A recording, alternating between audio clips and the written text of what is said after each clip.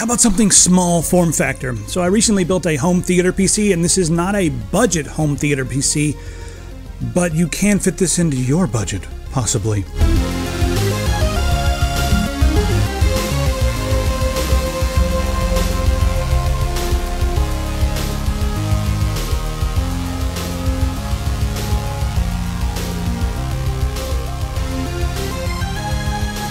So the idea with this is that I wanted something really powerful to go in the living room. Even though I don't need all that power, if I have a few friends over and you know want to play some video games or something like that, it's going to be available to me. Now, you can use this as a build guide for a home theater PC. You could use this as a, you know, a an expensive gaming rig, or you could even use this as your desktop that just, you know, does whatever, crunches all day, you're using Photoshop, or maybe you're just doing Word. Uh, it would be a nice small form factor.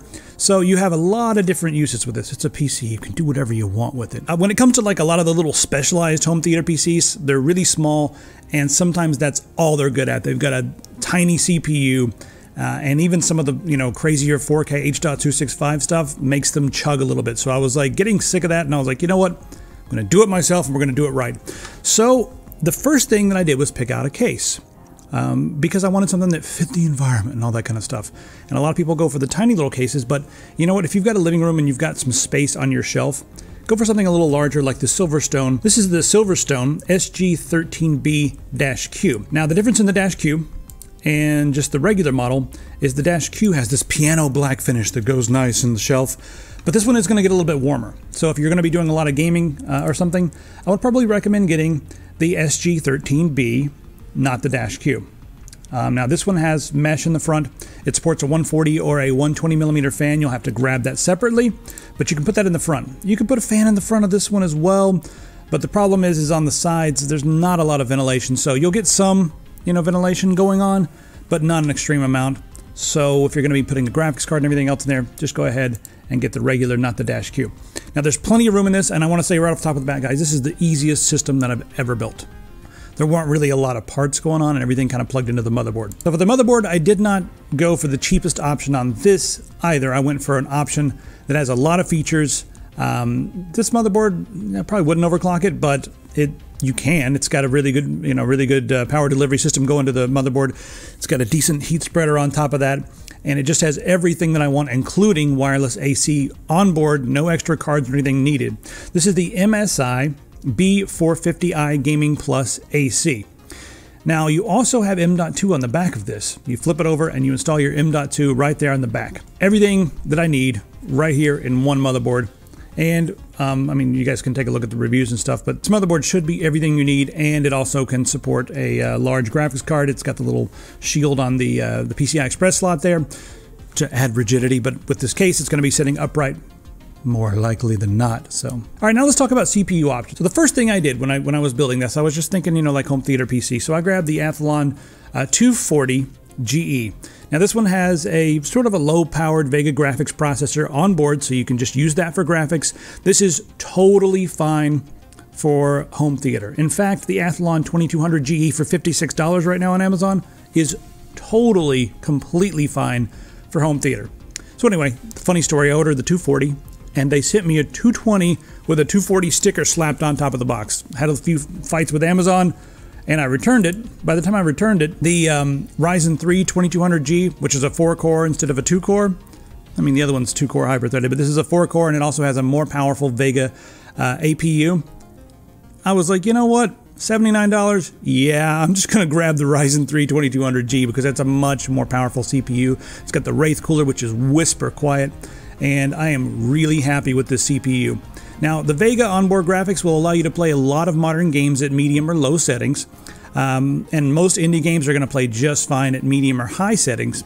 Now, the cool thing about this is even if you wanted to um, buy a dedicated graphics card, this one still has enough horsepower uh, to be able to play a lot of modern games. So it'll, it'll act as a great four-core CPU with the max frequency up to 3.7, and you should be able to easily push, push this to around 4.0 even with the stock cooler. This is a hell of a little CPU for $79. With the APU, it does like some decently fast RAM. If you're only going to be using this for home theater, you know, you're not going to need to worry about going crazy with the RAM. In fact, you'd be okay with 8 gigs of RAM, especially if you're going to be using Linux. But this, like I said, is not a budget build. It's everything I want. So we grabbed the G Skill, uh, 16 gigabytes of that, and this is the Aegis memory, and uh, I went for the 2800. It's sort of a compromise between the really expensive like stuff that's above 3000 megahertz, um, but I liked a little more of a boost because the APU does like fast memory. Again, if you're doing dedicated, um, or if you're you know not going to be gaming at all, it's not extremely important. Just get some decent RAM. Now, as far as storage goes, um, M.2 for the OS is going to make it way fast. So I grabbed the uh, Patriot Scorch. This is a 256 gigabyte NVMe M.2. Should get up to about 1700 on the read and about 780 on the write. There are faster ones out there on the market, but this is going to be mounted on the bottom without a heat spreader, so I didn't want to go all the way for the crazy, crazy fastest stuff. I didn't want it to overheat. So this is another compromise, but this thing's going to be super fast. Got a Phison controller and um, shouldn't have any complaints whatsoever there. Now, I was just going to leave it like this, right? And I was finished pretty much building the system at this point, and I was like, this was too easy. I usually like to stream my movies from a NAS or something like that, but I've got a few uh, 4 terabyte drives lying around, and if you wanted to play games and stuff like that, it might be nice to have a 4 terabyte drive. So grab one of the HGST UltraStar 7K 4000s. Those are $64.95 right now grab one of those, throw it in there. Uh, I had an HGST NAS drive, which is one step even better than this, but it was just lying around, so I threw that in there. But you know, for the for the budget conscious, this is a really good drive. Get you four terabytes of, uh, of space, plenty of games, plenty of movies on there. Throw that in there. Uh, also, the the spot where you install this is pretty neat. It's up toward the front. Um, you can remove the entire sled or mounting tray, I guess it is, install your hard drive, and then mount it back in there. It was pretty easy to do. So Silverstone did a hell of a job making this very easy to build in. All right, now last but not least, and some of you guys might want to argue this because of all the uh, mess of cables that, that, comes out of this. It's hard for me to argue with how quiet and uh, how much power this is going to deliver for what I need. This is the Thermaltake Smart 500, and it's an 80 plus. Comes in a couple different colors. You can get it with RGB if you want to, but I didn't need any colors because this is for home theater, right? We got a projector and everything. I don't want a light show on the side watching a movie. So with this 500 watt power supply, that's way too much. Absolutely way too much. You could get by with like 300 watts or, or probably even 250, but 500 watts can allow us to install a GPU later. So, you know, even if people come over and they want to play some games, I could just be like, hold on five minutes and I could grab uh, you know, a, a, 1070, or I could grab like whatever AMD RX 580 or something. Just grab one of those off the shelf, pop it in there, and then we'll be good to play some some games on higher settings. But this will allow us to do that. Now I went for this one uh, because it's it's a really good price right now. So that's one thing. And also this case does have a lot of room in the front just to cram a bunch of cables. It's not pretty, uh, but I don't really mind the extra snake of cables for this particular build. Again, if I was going for really clean aesthetic on the inside, I would have gone with modular, but I don't think you need to for this system. That's my opinion. If you want to spend a couple extra bucks, I'm not going to argue with you. Just, I'm tired of arguing on the internet, guys. Now let's talk about your operating system choices. Um, it's really going to be down to whether you want to dedicate this as a home theater PC or if you want this to be an all-around. And if it's an all-around, you can probably get away with Linux Mint or Ubuntu or something like that. Um, or, you know, Microsoft Windows 10, throw that on there. So I've put Linux Mint and, uh, and, and also Windows 10 on here. I'm to play with those two, whatever I'm in the mood for.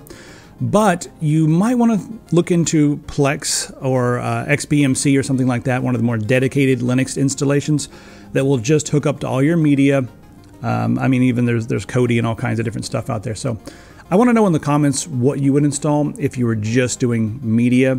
Um, I feel a little limited by those installations because I like to do I like to tinker and mess around a little bit, and um, I, I just feel confined by that little interface. But that's me. So let me know what you guys are going to install on your machine. And also let me know what parts you would put in a small form factor PC, in particular an HTPC. We'll see you guys in the comments. Also, do not forget, grab one of these t-shirts. This is the one you wear at the airport accidentally all the time. Every time I go to the airport, I'm wearing like this one, and the guys are like, hey, is that an anti-surveillance shirt? That's funny. TSA guys seem to like it. I don't know why. Anyway, grab yourself a mouse as well while you're over there, and uh, we'll see you guys on the forum.